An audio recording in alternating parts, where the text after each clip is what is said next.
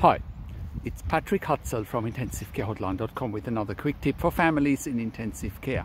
Today's tip is about ECMO weaning in intensive care, more specifically VA ECMO weaning. So there's a difference between VA and VV ECMO. VA ECMO is for heart failure, VV ECMO is for lung failure. This particular client we're working with at the moment has heart failure and lung failure, is on VA ECMO at the moment uh, the history is a heart attack with an LAD stent and other vessels blocked, but the client was too unstable after the heart attack to go for another stent or have cardiac surgery. So he ended up on ECMO and VA ECMO and inotrope slash vasopressors very quickly, uh, whilst he was going into lung failure as well as part of COVID. How should weaning be done when someone is on VA ECMO? Well, the weaning should be done by reducing the revs per minute and by reducing the cardiac uh, output. And therefore let the heart after they after the heart had a rest for a few days or for a couple of days and then let the heart beat for itself let the heart pump for itself and then gradually wean off ECMO.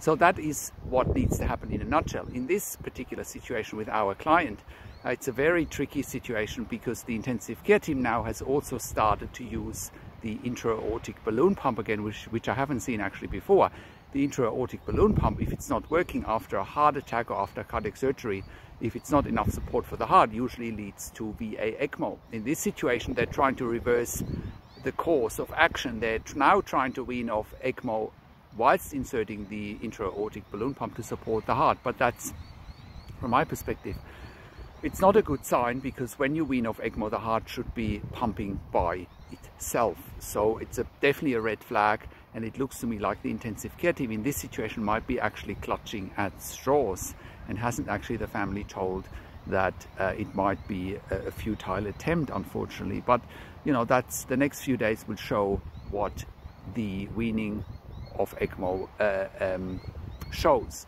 The trouble with ECMO is it's a great device and it helps save lives, bridge to heart transplant, you know, bridge to the heart recovering without a transplant. Trouble is it's a huge infection risk often hemoglobin drops because blood is being withdrawn from the body of course going through the ECMO machine so there's definitely some loss of blood there so it comes with massive risks that need to be managed but it also has a limited timeline where, where, you can use ECMO uh, because of the massive risks that are attached to it. So weaning of ECMO should be done without the balloon pump.